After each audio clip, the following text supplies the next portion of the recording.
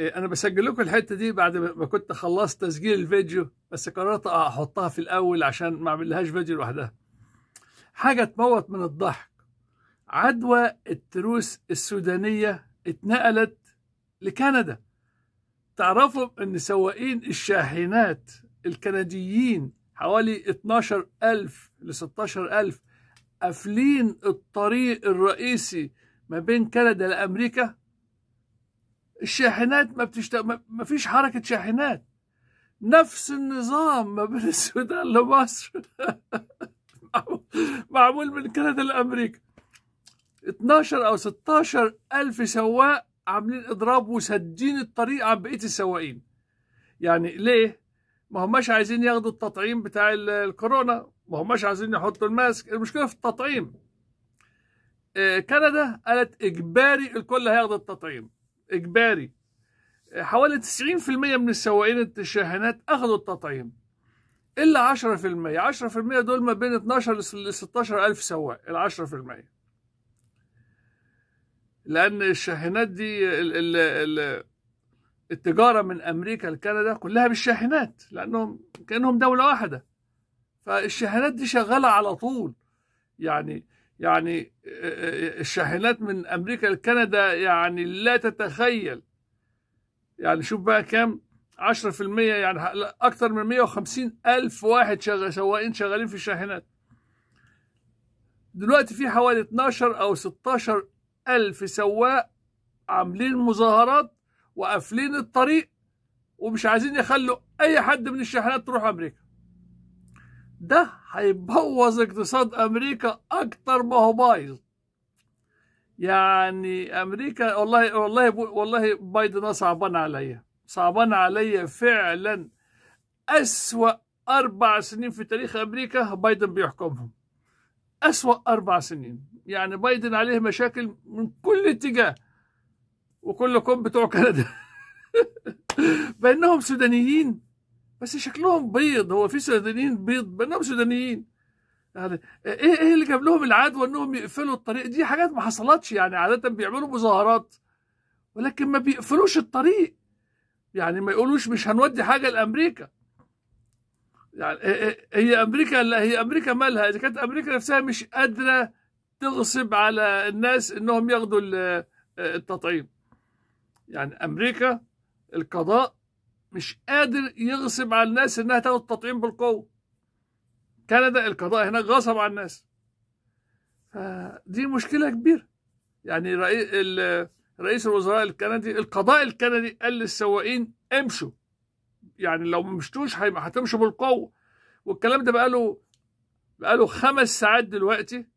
يعني كان المفروض يمشوا الساعة 7 مساء بتوقيت أمريكا توقيت نيويورك. الساعة دلوقتي هنا في 11 ونص بقالوا أكتر من خمس ساعات ونص.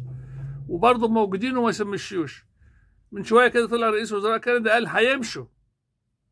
ولكن ما قالش هيمشوا إمتى بالظبط. هيمشوهم بالقوة. لأن هنا ما فيش حاجة اسمها في أمريكا إنها تقطع الطريق. لأن يعني دلوقتي الشاحنات اللي جاية أمريكا يعني فيها قطع غيار للعربيات المصانع في ميتشيغان تقريبا وقفت. يعني يعني يعني الشاحنات اللي جاية دي فيها قطع غيار وفيها حاجات أمريكا عايزاها. مش حاجة مثلا أمريكا تقدر تستغنى عنها لا عايزاها بتعتمد عليها. فأكيد أكيد هيحصل هيحصل هيفتحوا الطريق بالقوة في كندا. ده ده 100% يعني.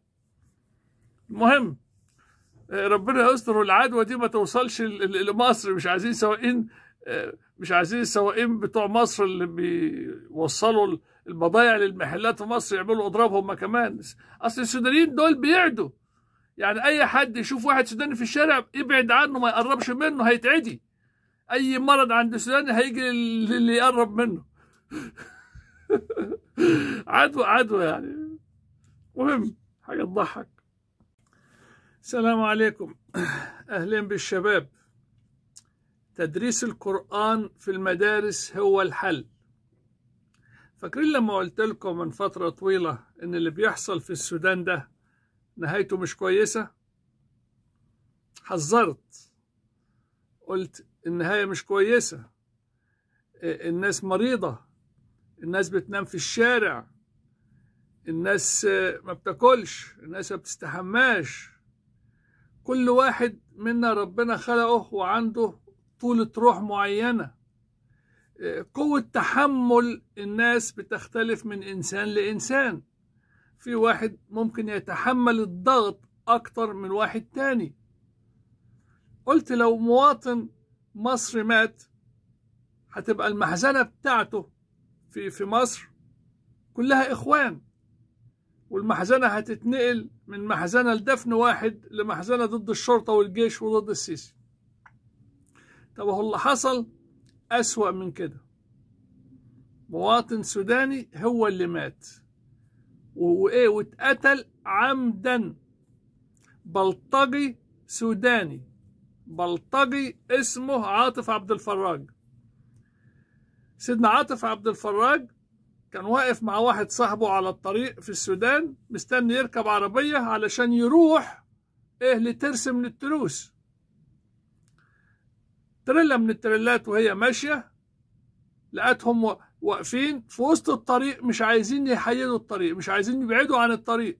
يعني الاتنين دول فاكرين بقى إنهم أقوياء بهوات عايزين يعملوا ترس لوحدهم. وقفوا لوحدهم قدام التريلا علشان يمنعوا التريلا من المشيان.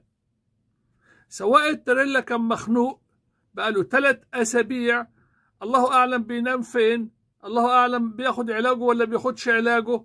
الله أعلم بظروفه الصحية الله أعلم بحالته النفسية. الراجل بقاله ثلاث أسابيع بينام في, في التريلا بتاعته في البرد. الله أعلم بياكل ما بياكلش. مخنوق. اداهم بيب بيب بيب مش عايزين يمشوا ما هم تروس هيوقفوا التريل. قال لهم اتحرقوا وراح داخل فيهم الاثنين واحد منهم كان ذكي جري والتاني اندهس مات طب إيه اللي هيحصل دلوقتي؟ اتلموا عليه أو اتصلوا بالشرطة الشرطة وقفته قدام وحاليا هو مقبوض عليه. دلوقتي في سواق مصري موجود في السودان بتهمة قتل عمد. أنا حذرت من الكلام ده. أنا قلت ليه إحنا في مصر عندنا ثقافة يعني التصرف بعد الجريمة ما تحصل. ليه ما بنتصرفش قبل الجريمة ما تحصل؟ ليه ما عندناش في مصر ثقافة منع الجريمة؟ أنا قلت الكلام ده من في فيديوهات كتيرة قوي. لازم يكون عندنا في مصر ثقافة منع الجريمة. لكن للأسف للأسف مخنا في مصر مخنا واقف. يقول لك لما الجريمة تحصل ساعتها نشوف الحل إيه. في حين ان, إن المفروض المفروض نمنع الجريمة طالما عارفين إنها ممكن تحصل. طيب حصلت الجريمة وسواق مصري قتل بلطجي سوداني. العمل إيه دلوقتي؟ هتعملوا إيه يا مصر؟ ولا حاجة. السيسي هيتصرف ابدا. الجيش هيتصرف ابدا. ليه؟ آه خايفين على العلاقات المصرية السودانية. الشعب السوداني بالكامل بيكره المصريين. بالكامل. الشعب السوداني بالكامل بيكره المصريين. فاكرين إن إحنا بنسرق بنسرق الخير اللي عندهم. ما يعرفوش إن إحنا بقالنا شهور بنديهم كهرباء ببلاش ببلاش. هل السيسي خرج وقال ده إحنا بنعطيك كهرباء ببلاش في السودان؟ ابدا. السودان حاليا بقت دولة مفككة. السودان حاليا ما تعتبرش دولة. السودان حاليا عبارة عن ميليشيات. ما نقدرش نتعامل معاها كأنها دولة لأنها مش دولة. الدولة بيكون بيكون فيها حكومة بيكون فيها بوليس بيكون فيها شرطة. لو السودان فيها دولة ما كانوش التروس دول شوية بلطجية يقدروا يقطعوا خط الحياة بتاع السودان. الشيء الغريب إن السودانيين فاكرين إن هم كده بيأذونا إحنا كمصريين. بيأذوا اللي هم كده فاكرين إنهم بيأذوا الاقتصاد المصري. ما يعرفوش إنهم بيأذوا الاقتصاد السوداني لكن هيعرفوا منين وهم أغبياء. هم لو ما كانوش أغبياء كانوا قالوا ان سد النهضه مفيد ليهم. إحنا بنتعامل مع شوية أغبياء. السودان شوية أغبياء مليانة أغبياء. كانوا أغبياء ممسوكين لما كانت دولة. دلوقتي بقى أغبياء مفككين جماعات. طب العمل إيه؟ هنفضل سايبين السواقين كده في في السودان تحت رحمة السودانيين؟ طب نفترض إن السودانيين دول قالوا هنروح ناخد هاخد حقنا من السواقين المصريين وجم مثلا هجموا على السواقين المصريين بالشوم أو بالسلاح وقتلوا لهم اتنين تلاتة. والسواقين المصريين هم كمان هجموا على السودانيين وقتلوا لهم اتنين تلاتة. هيبقى العمل إيه؟ نفترض إن السواقين المصريين اتجننوا لأن بقى لهم ثلاث أسابيع محبوسين. الله أعلم وضعهم إيه؟ أكيد ما بيستحموش. تخيل ان يكون بقالك ثلاث أسابيع ما بتستحماش. تخيل. هتلاقي نفسك خلاص بقيت جربان. هتستحمى فين؟ ده أنت بتنام في العربية. ده أنت عايز ده أنت في الجبل. ده الله أعلم بتاكل ولا بتاكلش. ده أنت بتشخ في الجبل. يبقى هتستحمى فين؟ الناس حالتها النفسية زفت. السواقين في مصر في السودان حالتهم النفسية زفت. 2500 سواق سوداني حالتهم إن سواق مصر في السودان مخنوقين. نفترض بقى إنهم اتلموا مع بعض وقالوا إحنا هنسوق عربياتنا وهنروح بلدنا واللي هيقف في طريقنا هندوسه. ممكن يحصل. ما تتص... كل إنسان له تحمل. بعد التحمل خلاص مفيش بينفجر. ممكن يحصل. نفترض إن السواقين دول اتفقوا مع بعض إنهم هيسوق هيمشوا ومش هيقفوا ولو أي ترس قدام منهم هيمشوا في الترس. لو مية هيمشوا في المية. مفيش حاجة توقف تريلا مفيش حاجة توقف تريلا التريلا ما توقفهاش غير دبابة. لكن عربية عادية التريلا تشيلها. لو ده حصل وال 2500 سواق مشيهم وكل اللي يقف قدامهم السودانيين دزوه. وفضلوا ماشيين لحد ما وصلوا مصر. ومات فيها ألف ألفين سوداني. العمل هيكون إيه؟ هل أنت يا سيسي مستني لما ده يحصل؟ جاوب. هل الجيش مستني لما ده يحصل؟ جاوبوا. أنا بقى بقول لكم إن احتمال كبير ده يحصل. وافتكروا إن اللي بقول عليه بيحصل. مفيش حاجة قلتها إلا وحصلت. من أربعة أشهر قلت مصر هتعمل قاعدة عسكرية في جيبوتي. في الوقت اللي محدش عنده فكرة خالص عن موضوع قاعدة عسكرية. دلوقتي الإعلام كله بيقول مصر هتعمل قاعدة عسكرية في جيبوتي. قلتها من أربعة أشهر من أربعة أشهر. بقول عليه بيحصل لكن الناس مش عايز تفهم. العقول في مصر مربوطة. جيل غريب. هتعمل هتعمل إيه يا سيادة الرئيس؟ هتعمل إيه يا جيش؟ لو السواقين المصريين اتجننوا وداسوا كل الناس دول ورجعوا مصر بعربياتهم. أنا لو كنت من السواقين دول هعمل كده. لو كنت من السواقين هاخد التريلا بتاعته وهمشي ومش هقف. اللي هيقف قدام مني إحنا أنت عندكم مشاكل مع بلدكم إحنا مالنا إحنا؟ الكهرباء بتاعتكم غالية. مشكلتكم مع الحكومة بتاعتكم. تعطلونا إحنا كمصريين عن مصالحنا ليه؟ إحنا سواقين مصريين شغلتنا بنودي بضاعة السودان وبنجيب بضاعة من السودان دي شغلتنا. أنتم أنتم مالكم مالنا؟ أنتم مشكلتكم مع بلدكم. تعطلونا إحنا ليه؟ العربيات دي عليها أقساط. العربيات دي عليها أقساط. هل الشركات اللي بيشتغل فيها السواقين هيعوضوا أصحاب العربيات عن الخسارة اللي بيخسروها؟ هيعوضوهم عن الذل اللي شايفينه عن النوم في الشارع؟ عايز حد يفكر في الكلام اللي أنا بقوله لأن ما حدش حاسس بالناس بالسواقين دول إلا السواقين دول. ما حدش حاسس بيهم. حتى الإعلام المصري مش حاسس بيهم. مفيش إعلامي مصري اتكلم عن السواقين في السودان زي ما يكون مفيش سواقين. ليه؟ عشان السيسي عامل حساب المستقبل في علاقات مع السودان. هذه السودان السودان خلاص بتتفكك. اللي انت يا ريس حاولت تمنعه من زمان خلاص بقى مش بإيدك.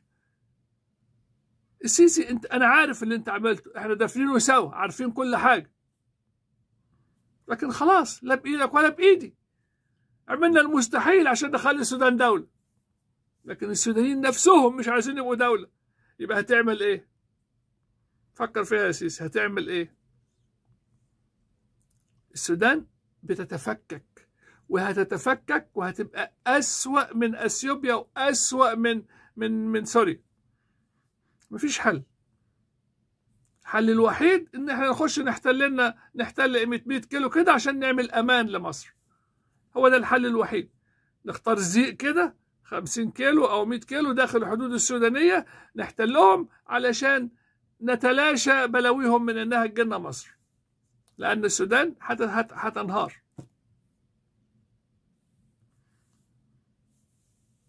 هنفضل بقى كده مستنيين لحد من البلاوي اللي أنا بقول عليها دي تحصل. والآخر يطلع واحد يقول لي أنت وشك نحس. أنت قلت إن الكلام ده هيحصل وهو حصل ما أنت وشك نحس. ما اسمهاش وشك نحس اسمها بتقرأ بتقرأ الأحداث. اسمها فاهم الأحداث اسمها فاهم اللعبة. اسمها عارف اسمها دي. هقول لكم إيه بس.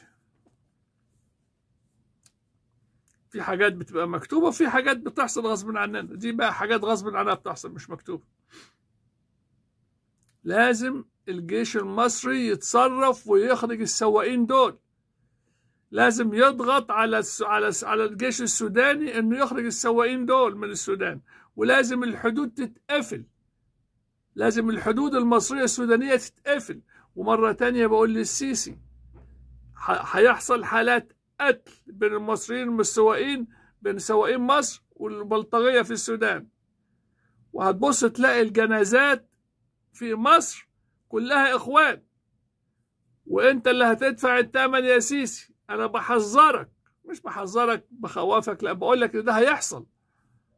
بقول لك هيحصل مع وصول أول جثة مقتولة لسواق مصري مصر هتلاقي الإخوان كلهم ماشيين وراه. ومش مش مش هيمشوا وراه عشان يدفنوه هيمشوا وراه عشان ينادوا ضد السيسي وضد الجيش. مستنيين إيه؟ يعني مستنيين إيه؟ السودانيين مش هيسيبوا هيفضلوا كده. ليه؟ لأنهم ما بيفهموش. يعني إيه يعني يعني يعني إيه اللي المفروض يعملوه علشان الشعب في مصر يعرف انهم ما بيفهموش؟ الشعب ما بيفهمش.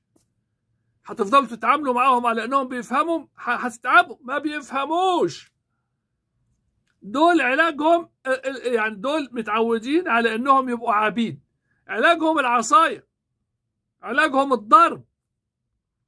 والله العظيم لو سواق دخل فيهم هتبص تلاقي كله جري زي الخرفان.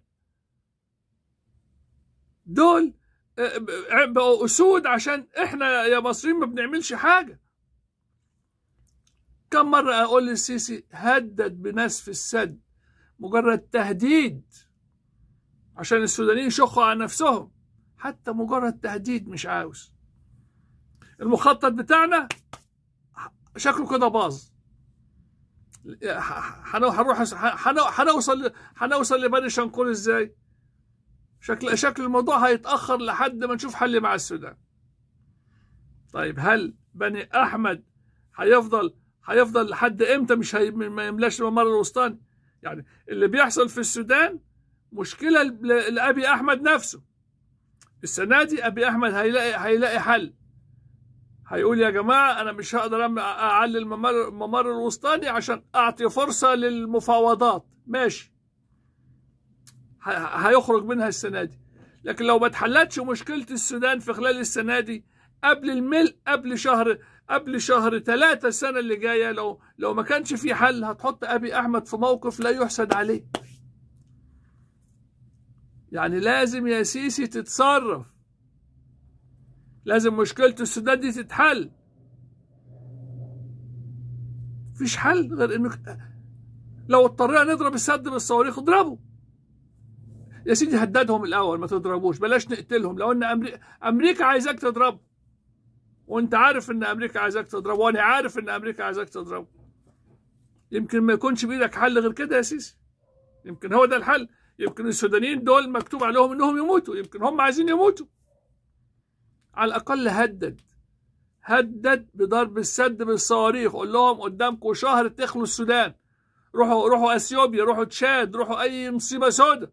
بس تقفل الحدود ما يقولناش مصر. حل مشكلة السواقين.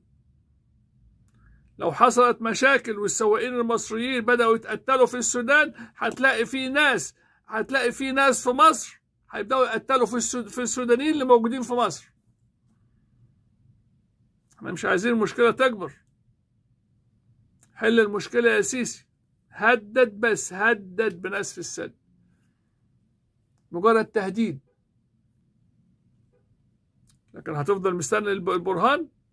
برهان شكله كده ضعيف ومش قادر يتحكم في السودان. كل الجرايد في السودان عمالين يتكلموا عن مقتل عاطف عبد الفراج ويقول لك عايزين القصاص. قصاص إيه؟ ده بلطجي. بلطجي بيقطع طريق المفروض يتقتل. ده بلطجي. يعني المفروض ملوش ملوش قصاص ده. ده بلطجي. واحد بيقطع طريق في حاجة اسمها قصاص مع قطاع, قطاع الطرق. أنتوا اتجننتم؟ اقروا هوريكم اقروا شوية حاجات من اللي جاي في الجرايد.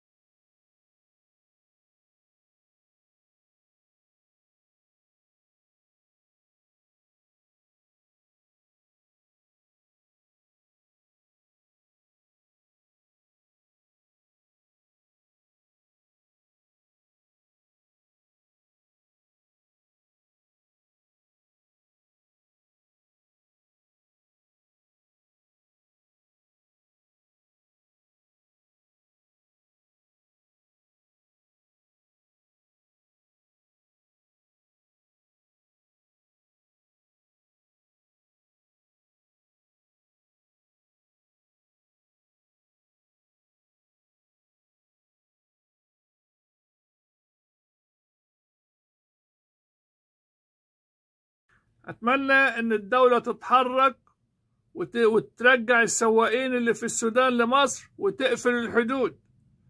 وأنا بسمع أن لسه في سواقين مصريين بيروحوا السودان. بشاحنات. أنتوا مجانين؟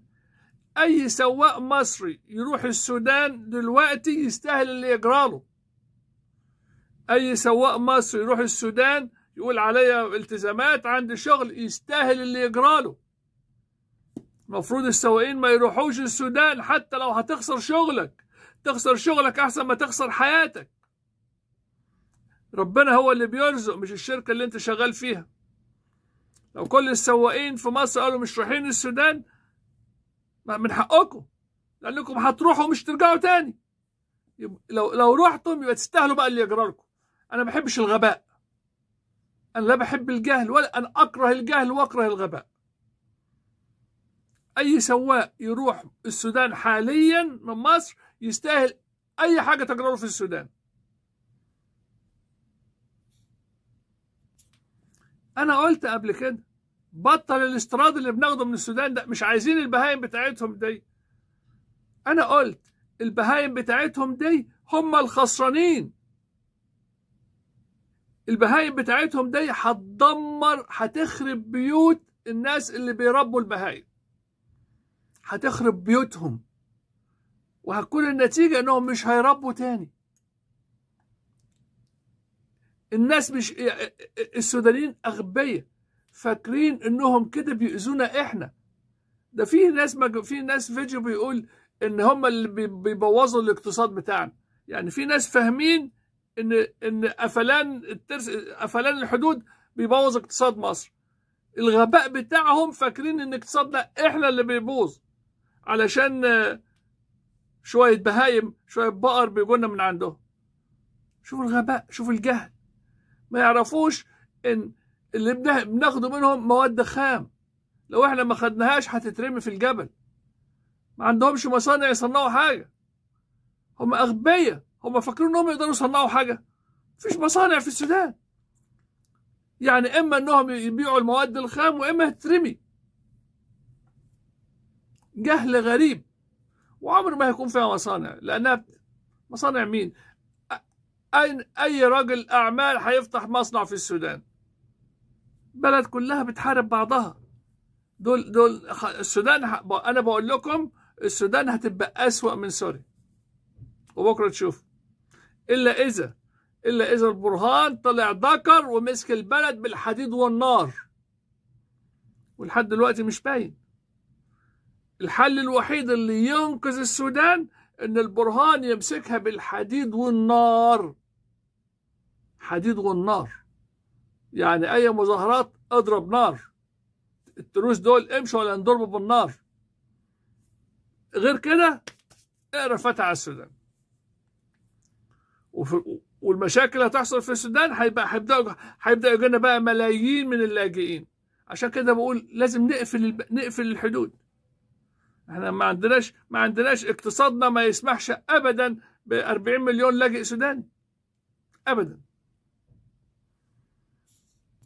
ماشي. نرجع لموضوع تاني. أنا قررت إني مش هتكلم تاني في موضوع لا الدين ولا الأزهر ولا شيخ الأزهر ولا الموال ده كله. ليه؟ لأني أنا اكتشفت أنا بعيد عن مصر بقالي 35 سنة.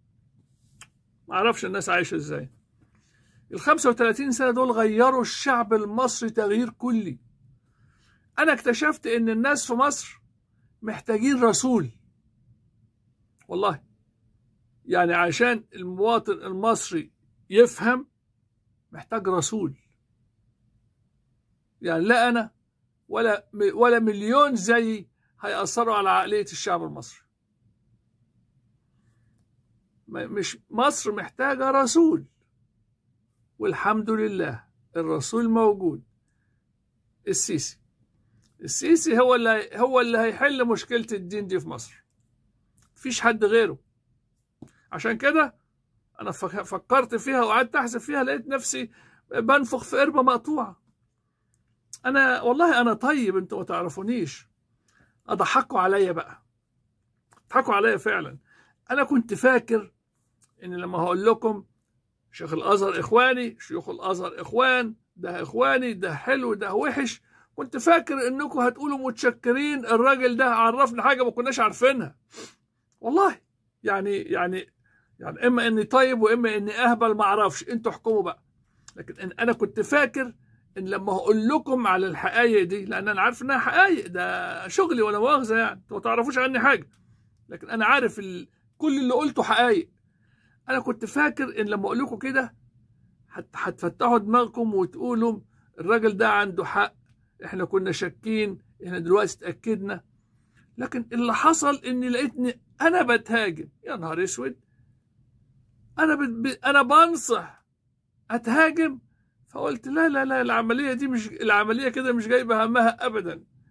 الناس دول الشعب ده مش هو نفس الشعب اللي أنا كنت فيه من 35 سنة. العقلية اتغيرت. عشان كده قررت إن الكلام في الموضوع ده هجيب هجيب المرض لنفسي. عشان كده قررت مفيش كلام في الموضوع ده تاني. الدين ربنا هيحميه. الدين له رب يحميه.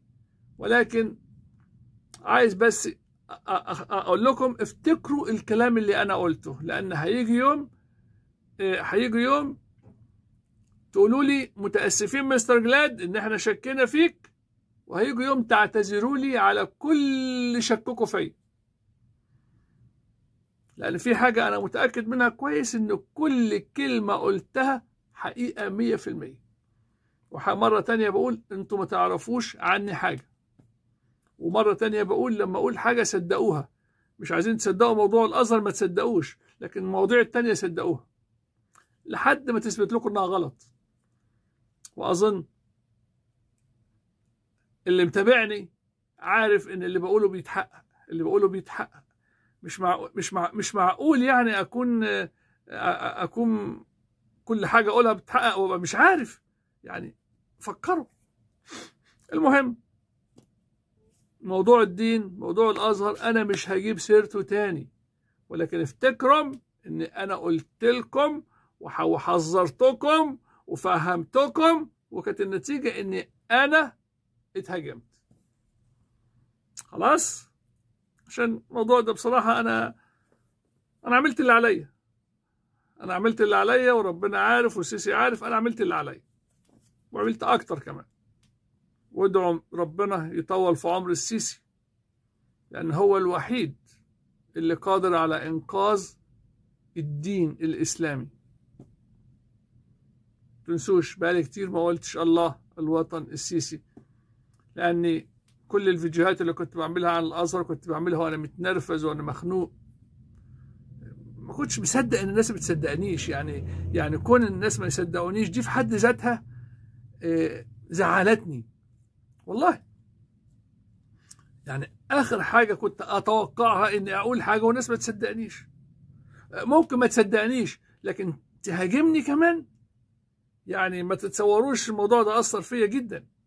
أنا بنصحك بنصحك بدل ما تشكرني تهاجمني. المهم تنسوش الله الوطن السيسي تحيا مصر. تصبحوا على خير.